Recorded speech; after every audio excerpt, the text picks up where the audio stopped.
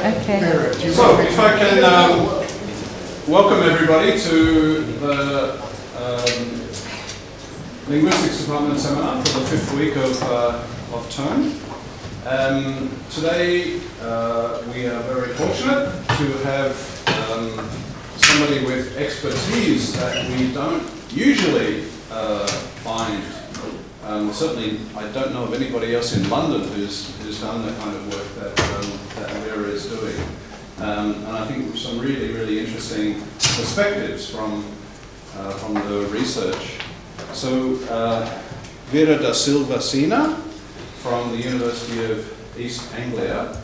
Um, Vera is finishing up her um, PhD research, uh, which she's been doing in Brazil. Um, she has uh, extensive fieldwork experience working on indigenous languages from a number of different groups in Brazil, um, including in the Xingu National Park, working with the Awetý and others, um, in Amazonia, and also in, amongst groups on the border between Brazil and, um, and Peru. So she's going today to tell us about uh, her research project, which is involved uh, looking at the expression of um, temporality and time um, in uh, several of the languages that she's been working with. Um, those of you who've uh, done any linguistics will have come across this as being a very famous chestnut, uh, particularly in the dimension of the so-called Sapir-Whorf hypothesis and you know Whorf's claims about temporal expression in a language like Hopi. Now, those of you in descriptive linguistics, that's, this is what we'll be talking about this week, right? So um, Vera's uh, research is going to be really relevant to us. Um, my understanding is that we have a film, and then Vera's going to talk to you about um, the material that's in the film, and then we'll have the usual question and answer um, period towards the end of it. So, over to you. Okay, thank you. Thank you, Peter, for being here one more time. And uh, so I think some of you already know my work before, but it's not the same video we show in the last time. And this is just uh, a documentary about what is time and culture, yeah? So let's see if you like, and then we can talk about it. Um, full, in, full screen, yeah.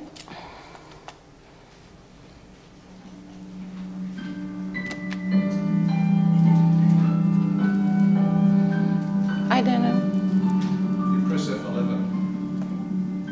All over the world, people think about and talk about time and place events in time. But the way this is done is not the same in all cultures. In our culture, we are used to thinking in terms of calendar time and clock time. But is this the same for everyone? In this film, we are going to show you hmm how time is and expressed in the languages and cultures of three indigenous communities of Brazil.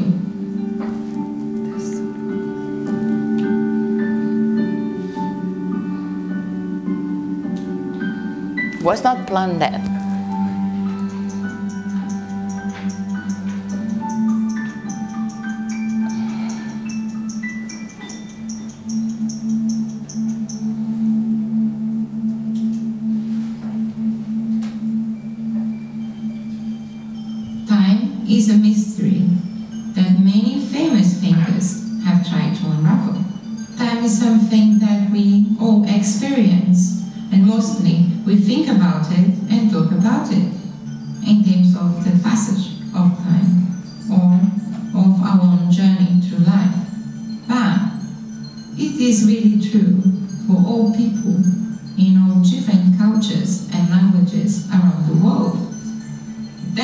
Question I set out to explore by finding out about how people in indigenous cultures of Brazil understand time.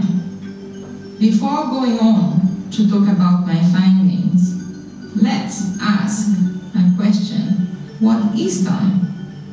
Actually, nobody knows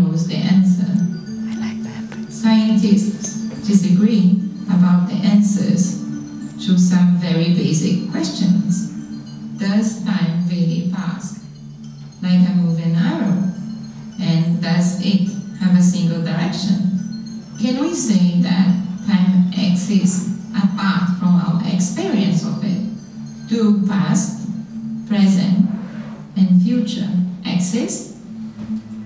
Does everything have its time as well as having a location in space? Well, if so many scientists don't know the answers to these questions, I won't even try to answer them because my own question is difficult enough. My question is, does everyone around the world think and talk about time in the same way?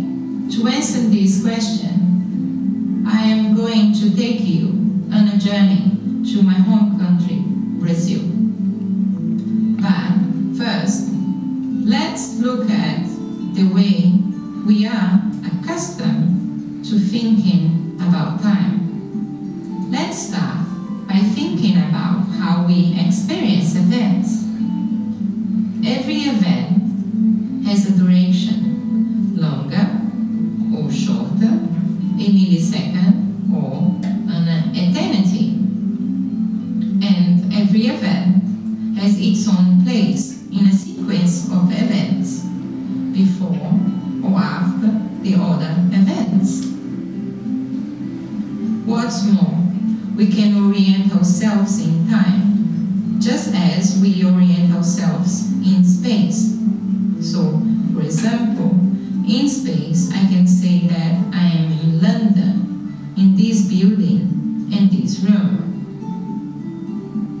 In the same way, I can say that I am speaking today, or that I did something else yesterday, something different again tomorrow.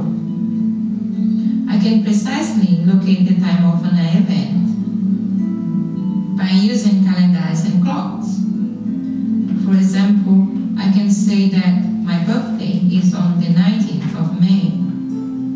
Clocks and calendars also enable us to measure time intervals, years, months, days, hours, minutes, seconds. All these ways of thinking about and talking about time are second nature to us. But is this the way that everyone in every culture thinks about time?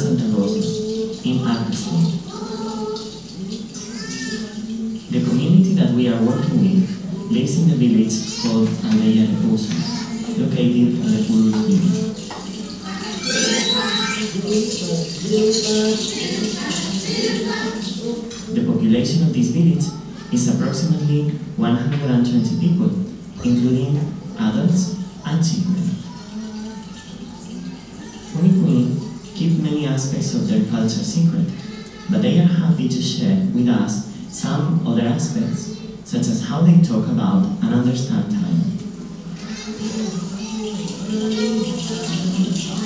We are especially grateful for the help of Dr. Joaquim Kashinawa, the first doctor in linguistics from the village, who is working with us.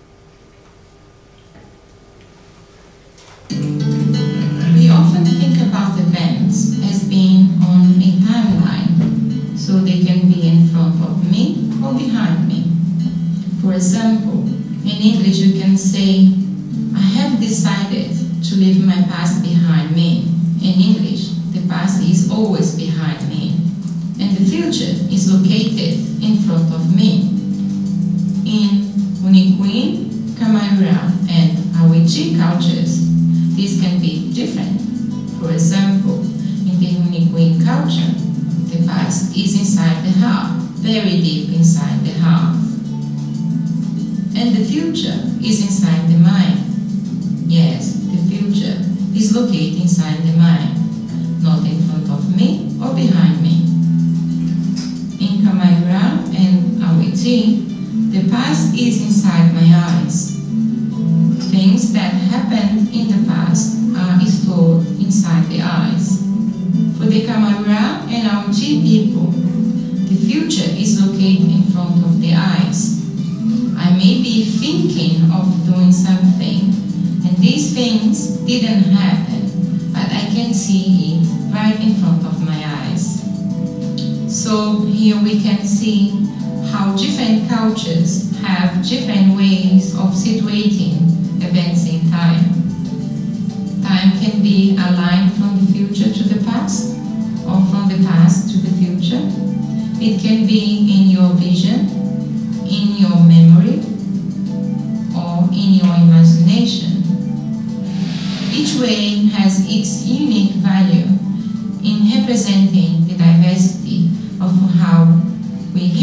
beings think about and talk about time. To compare event-based time intervals and Kamaiurá, Awetý, and Huni Kuĩ with our own notions of clock time and calendar time, we can use the notion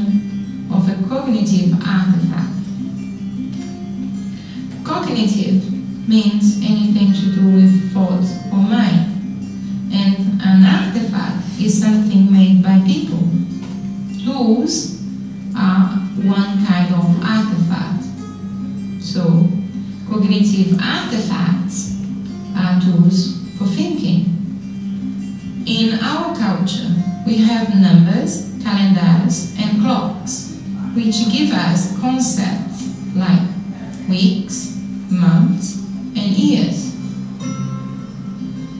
However, in Hunikuin, Kamaiurá, and Awetý, there are no cognitive artifacts like calendars and clocks.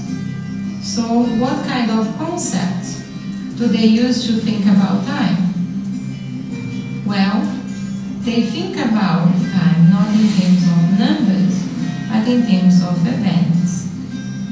So, what is an event? An event is something that happens or takes place. A child is born, an election takes place, an atom moves. With this in mind, let's see how events forms the basis of concepts of time in Kamaiurá, Awetý, and Huni Kuĩ. Their time is based on events, and we call this way of organizing time event-based time intervals. The main feature of event-based time intervals is the intervals is the event itself. In our culture, we often use event-based intervals. For example, we might say, I will meet you at lunchtime.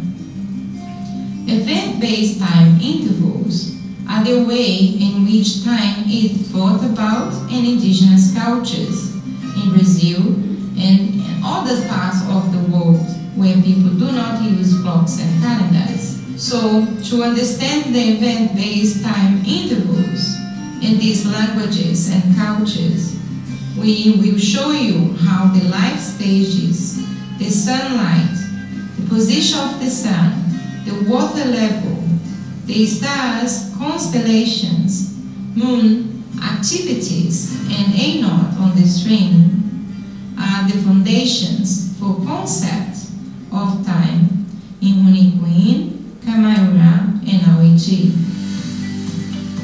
It is fact that in these cultures, they don't have birthdays. What they have are life stages, child, adolescent, adult, and old person. And for them, life is a process of learning and acquiring skills.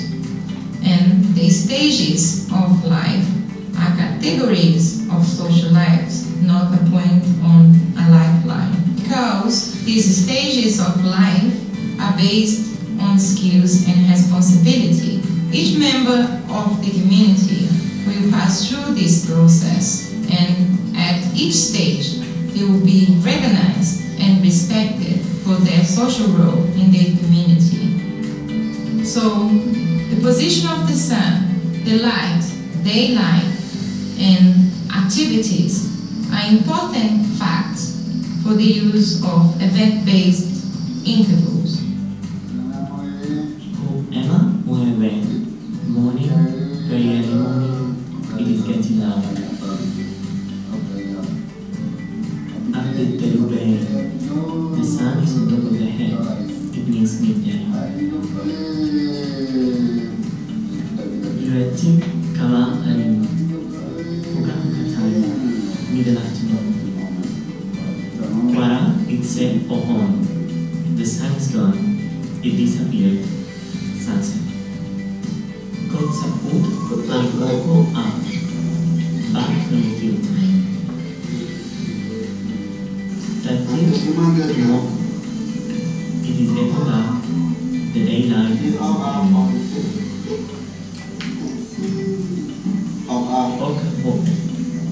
The sun is on top of the house.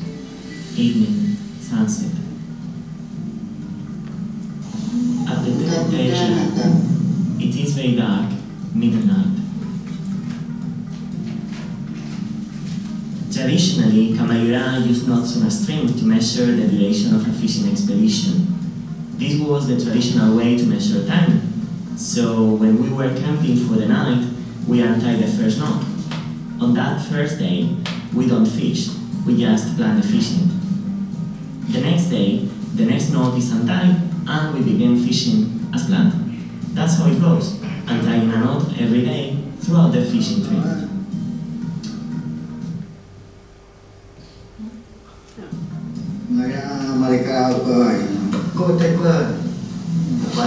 Para apa? In Kamaiurá and the stars also index time intervals. The activities of planting and harvesting cultivated crops and wild fruits, traditional festivals, and fishing are linked to the appearance of nine constellations. These constellations also indicate the period of rain, heavy rain, cold weather, windy period, breeze, drought, sun heat, therefore indicating rain season and dry season.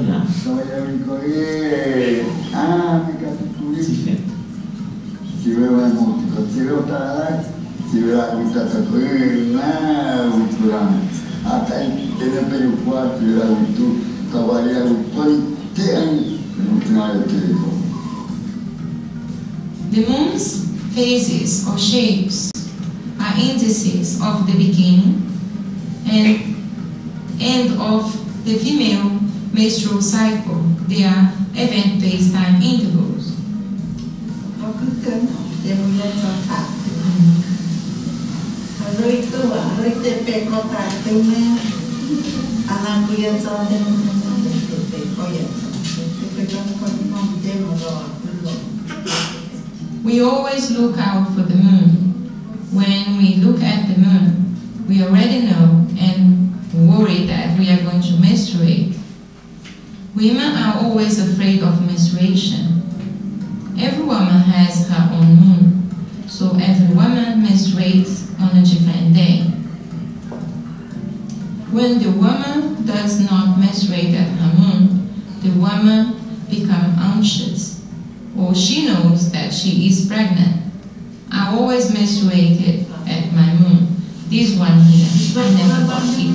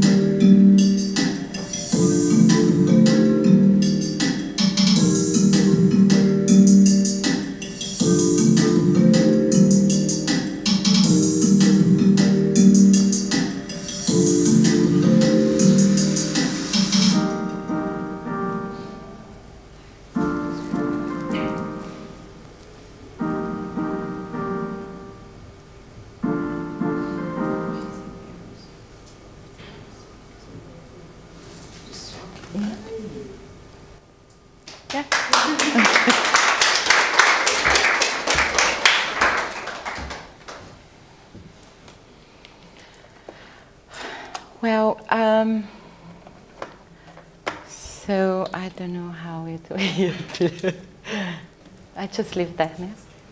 I just leave there, like that. Um, yeah.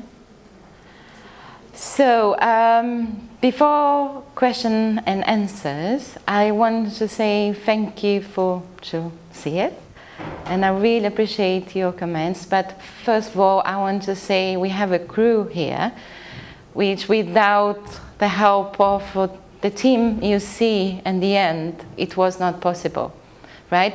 It's not only my work, it's our work together, because without the, the team from the field, which is Wadi and Joaquim and Pautu, this was not be possible to have here.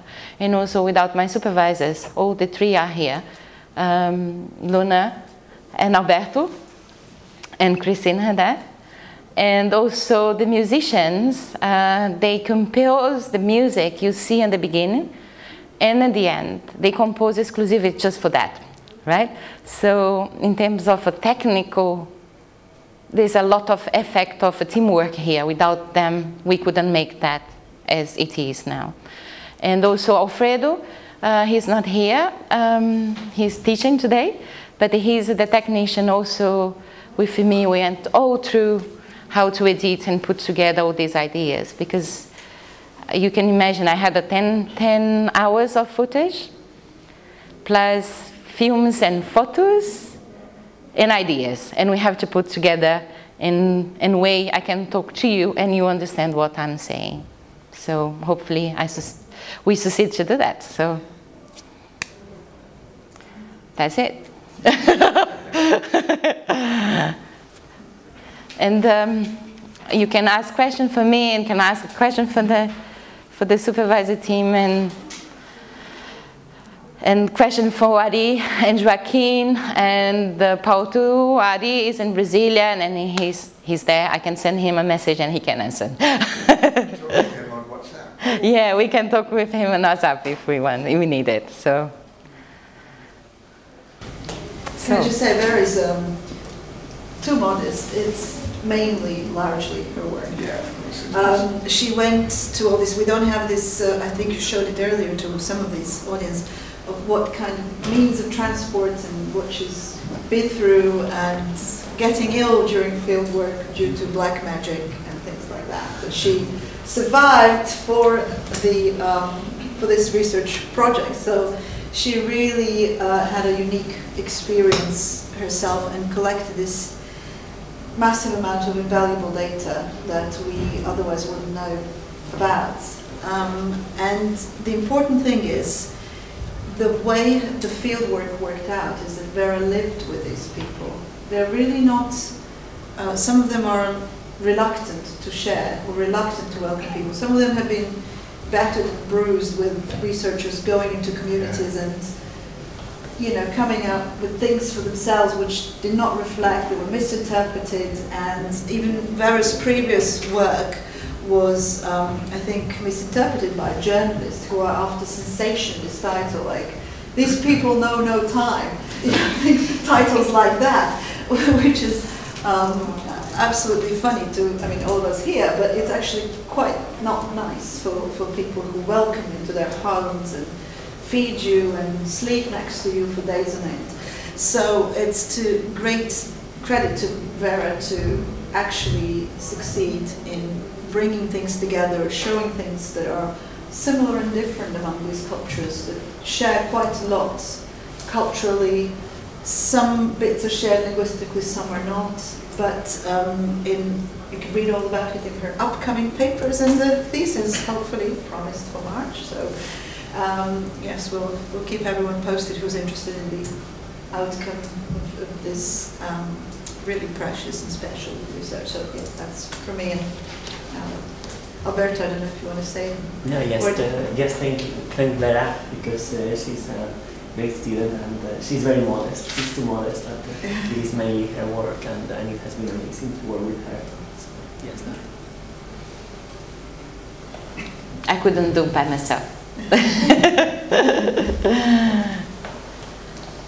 Um, thank you, Vera.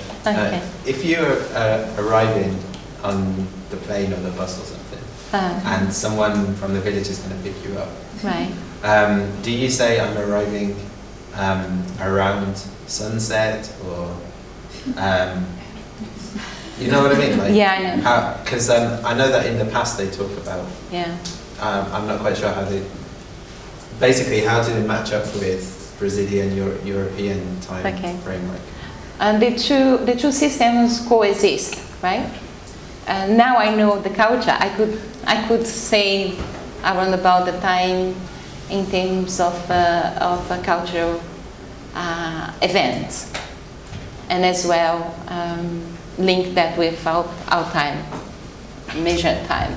Because the difference between one time and another, because uh, our system is very precise, it's very measured, right? Their events is not precise as we are, because their event is not based on the measurement, like number, numeric, metric, matrix. They are based on the event, what they do and that part of the time, right? So yeah, um, the two system we can do together, and I guess I can I can try to do the culture way and ask them to pick me up and hookah hookah time. and they will understand because they know I know. And if it's not precise, how do how do um, Yeah. how do you manage that? Yeah, because life, the metrical part of our life makes sense in our kind of life we do, right?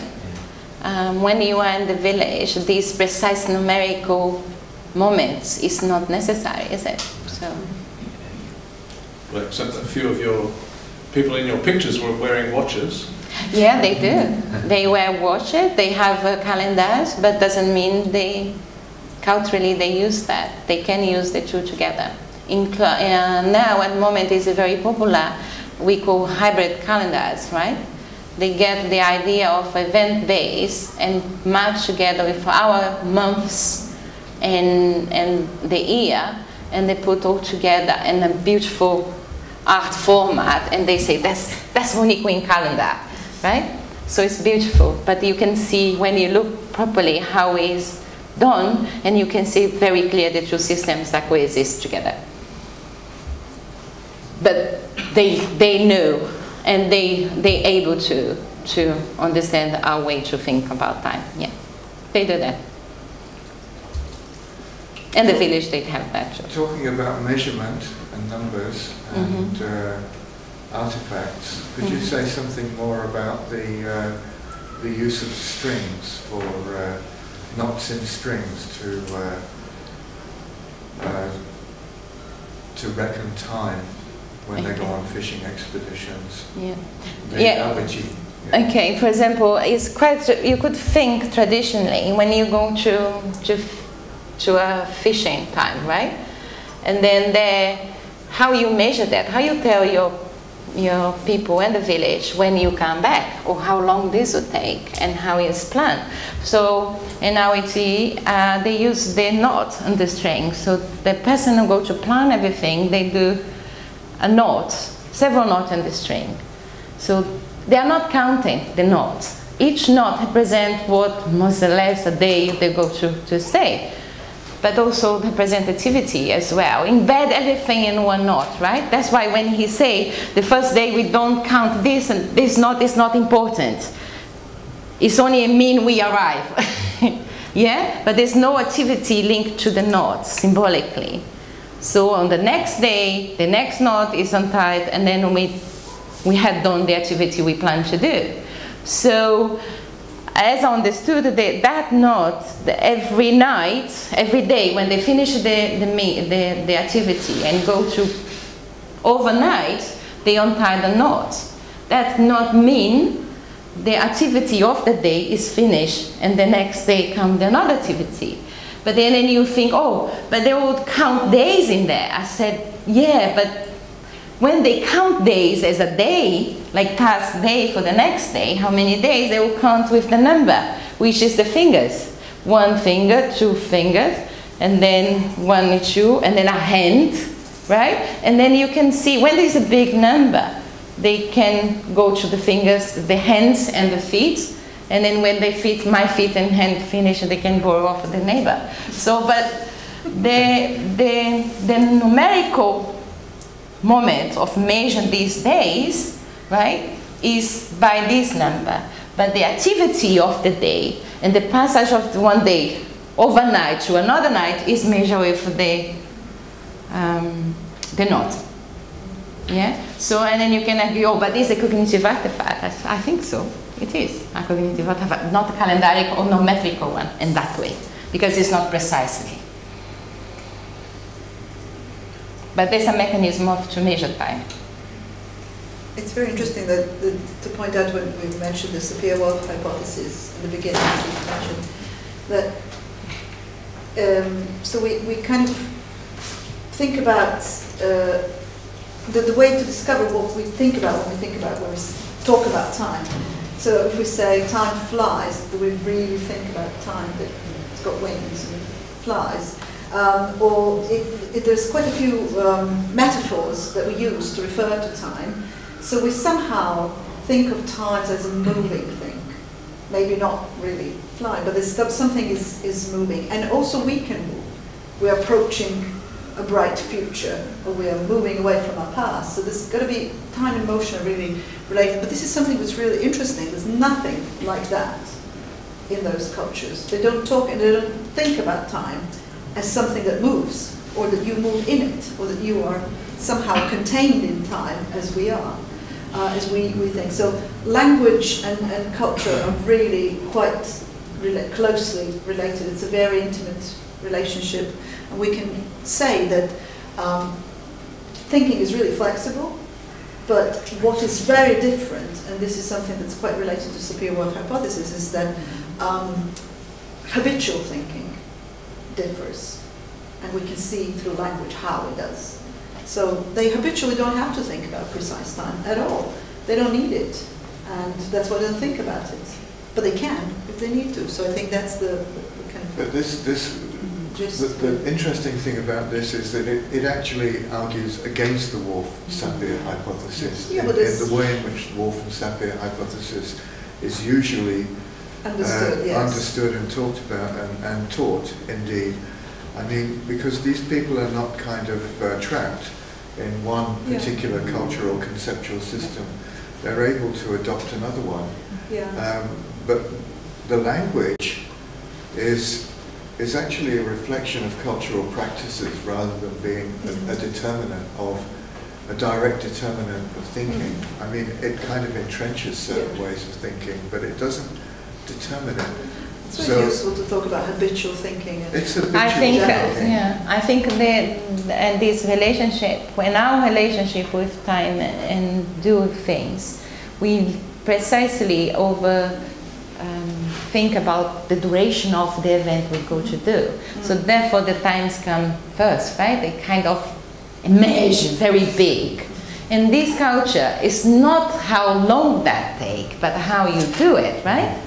So it's like the time is just, oh, is yeah, time is this, but and that event is more important what I'm doing, who I'm doing, and why I'm doing, than measure that in a, in a metrical way. I don't, I don't, it's not what is important. Important. I go to fish.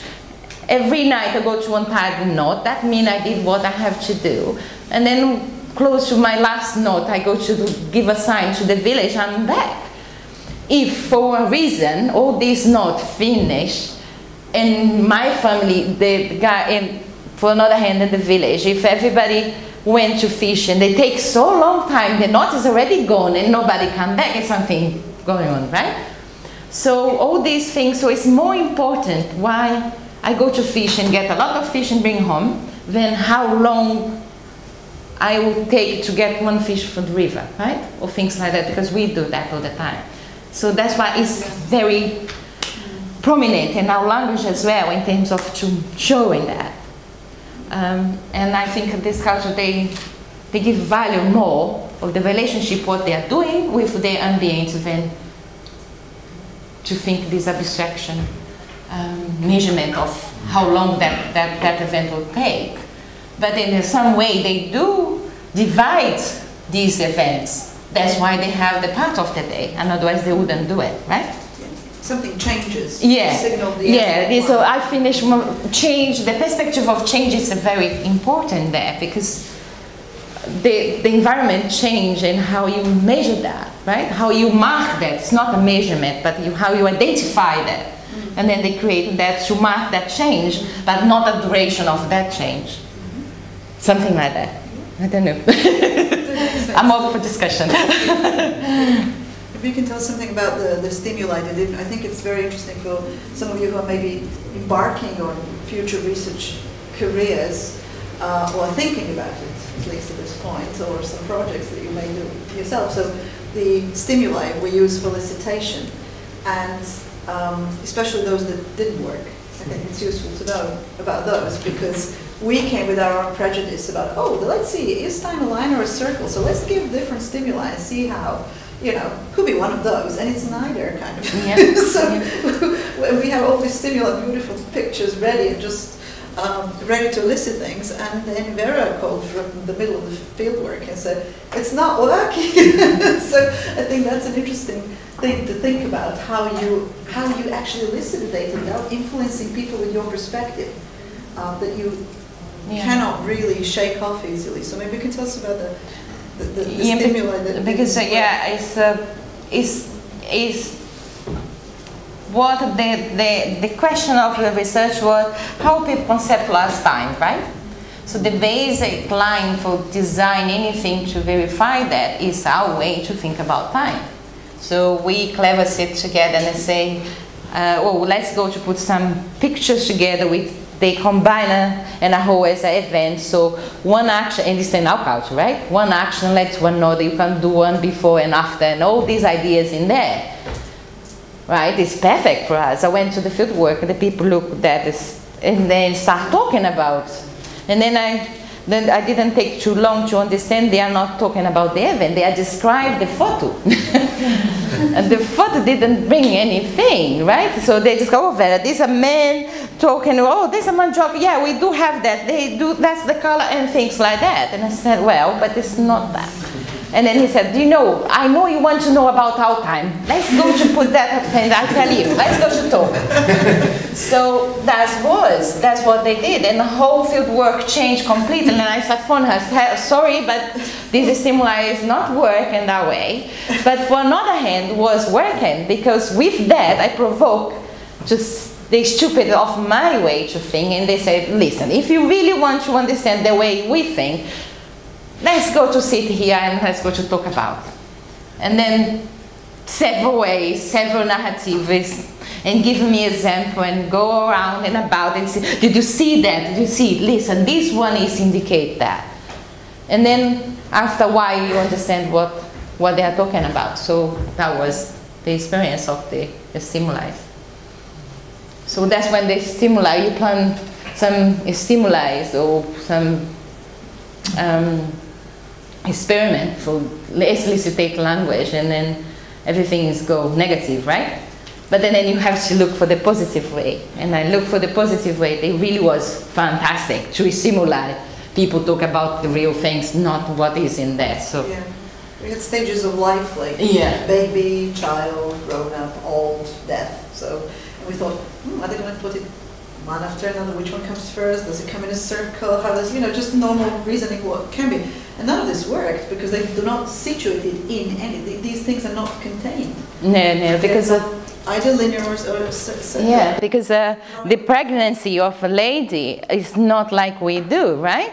We conceive and then we already give a name for the child already and the conceiving time. So the notion of what life is, notion of a human being is, is different as well, right? And then you give all these nine month things together was so funny and then they look said, oh wow, yeah. Oh, oh don't do that. And then and then they start telling me how the pregnancy and how the conception and how it's done and the way they see that and why they see that. So and it's completely different what we think in terms of a pregnancy and having a baby. So it's completely different concept, which led to the concept of time too. So, yeah. If I can be devil's advocate, I think what you're comparing is pre-industrial situations with post-industrial literate situations. If you think about uh, this is separate from language, right? Mhm. So if you go back to earlier phases of people who spoke English, uh, in farming, you know, agricultural period, the, cal- the calendar, so-called, was was a, an event-based one. Harvest time, you know, planting time. You have festivals at times that are like harvest time, not because it's the 5th of January or the 23rd of Mhm. November. It's because that's when you actually harvest the plants. And the introduction of temporality was as much connected with the church and, uh, you know, knowing wh- when to go to prayers and so on, not with people's daily rhythms of life. So the comparison I'm suggest is not between English and Awetý, but actually pre-industrial and post-industrial. Yeah, you can have that, but you have to think when I, why I came to this idea, because this idea nowadays and cognition, for example, they have claimed the way we think about time is universal. We always think about time in terms of numerical and metaphorical from space, uh, from from time to space, and all this make a model, and everybody say, oh, everybody is as a human being, we do the same mapping, right? And I say, no, I'm not saying that because we don't.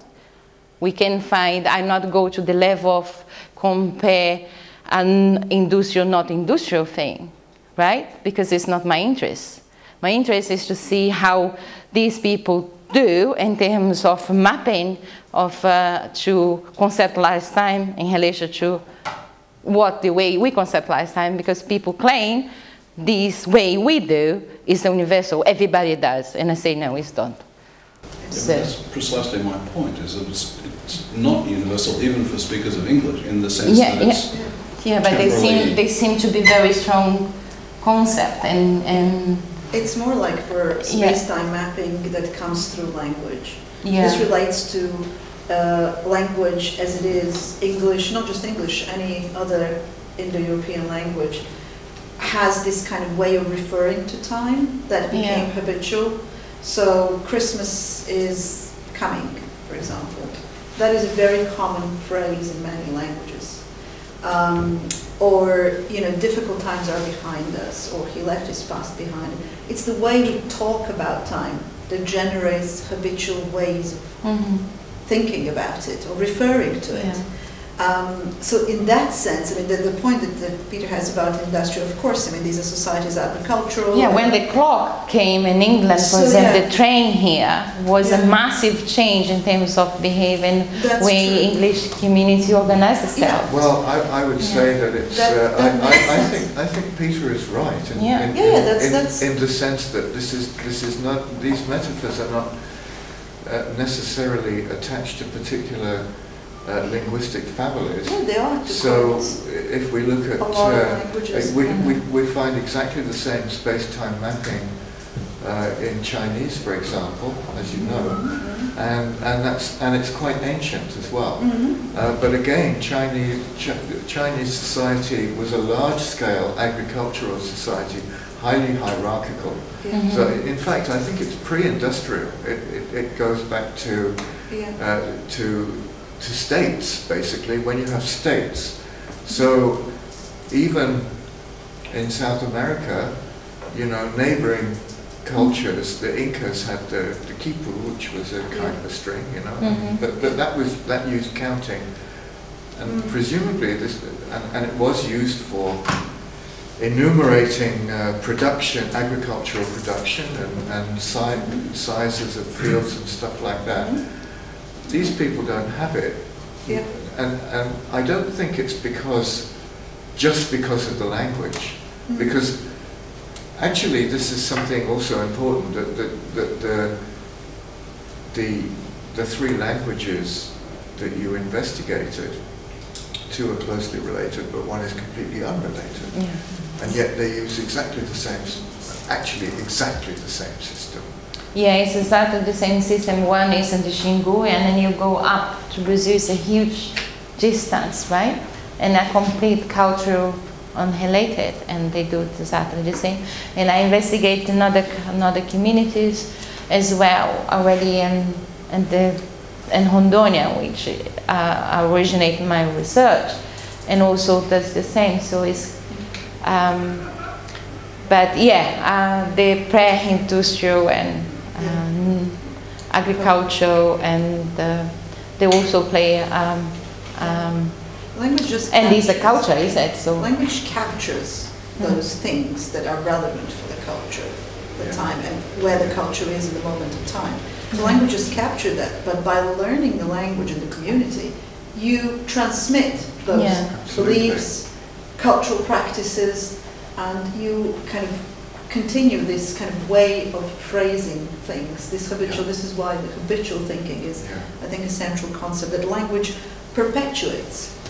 yeah. You know, you know how you said about the, the moon phases, yeah, and every woman has her own moon, yeah, um, and they're waiting.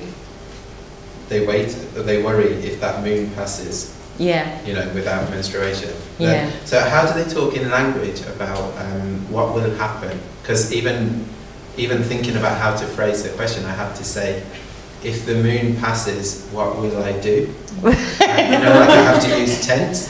So like, how do they talk about that? Oh, okay, that's another thing for this language. These languages are not tense marked, Okay. right? These languages are modality and aspects language. So they have marks which indicate when and how things are done, right? So, and also, particularly now at Haiti and Canada, they have, uh, for example, if they tell me a story, they have to tell on this, and come on the idea of evidentiality of the language. They have marks, just just tell me who's a, is a real story, is a fictitious story, is a go to happen but not go to happen. So they have several marks on the language, which is completely different from English or any Western country language. So it's another level of uh, discussion in terms of grammaticalization of time and language. Yeah. Yeah, in this case, this language are mod- model aspect of language and evidentiality language is a very complicated grammatical thing. So many people try to understand, but I didn't read them anything like say, oh, that's a good one, but I struggle to understand it. But is is that the case? Yeah. So they don't talk about it as They would say, I would say, for example, if I'm awaiting, uh, I would say, oh well, I will, uh, my moon is gone, is it? Nothing come up, I'm really preparing myself, either I'm pregnant. If I'm married, that's okay. If I'm not married, this will be a trouble. so that's the why they'll worry about it. Yeah? And there is a way to say things like that, yeah, absolutely. It's not necessary market time there. yeah, Yeah. Yeah? On the sentence, you mean? Yeah. It's more, would be more the worry who's he speak talking about than the time that that's. yeah. Okay. Yeah, there's no, they, they wouldn't do mark time for that, no. They would make more how they are worried about it. Yeah. Yeah, so. Yeah.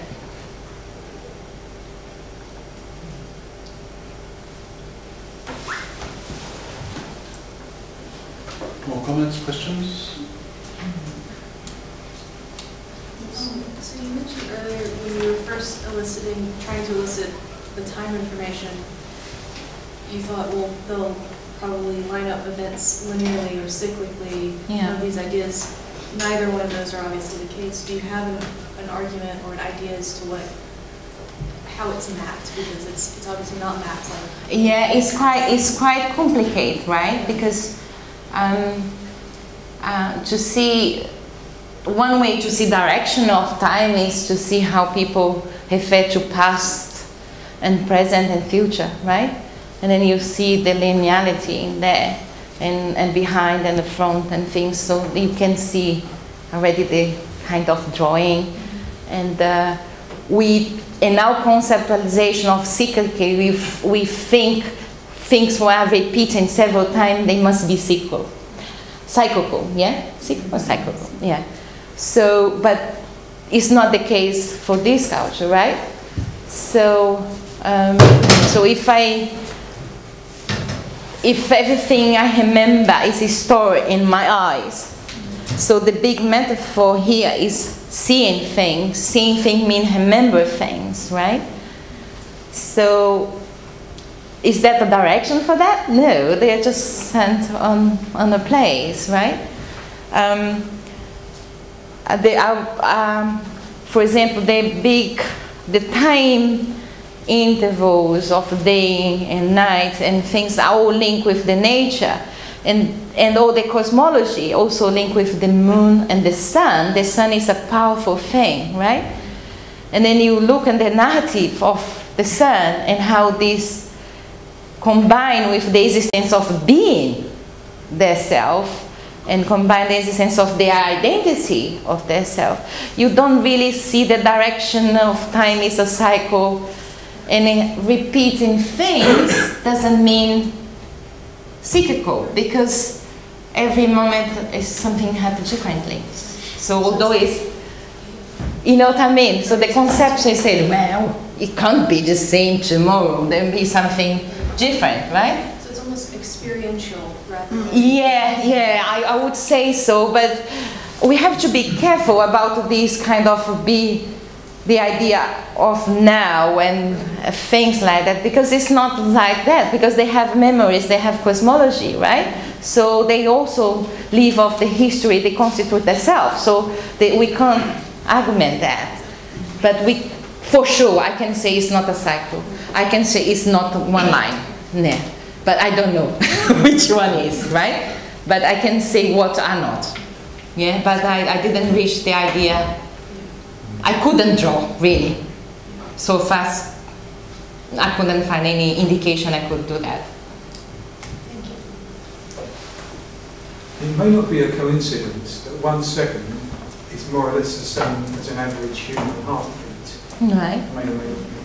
But is there any, the most obvious or the most salient periodic thing which anyone can encounter is their own heartbeat? The most cyclic, and it has to be cyclic, because if it's not cyclic, it's probably dead or something or dying. Oh, but, well. But do they have any, any concept of heartbeats? No, I didn't look at that. No, no, no. They probably has, but and then again, my experience of uh, of um, um, body and concept of bodies told m- give me some argument what is body for me, not necessarily is body for our culture, right? So that they see the way the body is in relation to the universe they live is different concept what. And one good example is what is disease right? So what should be one uh, well in the couch way what should be diseased without sickness right? So and then you can see there's two ways to see uh, person as a whole and the body and part of the body so i would say no i don't think we need to investigate that, but I would say it would be a quite a different concept.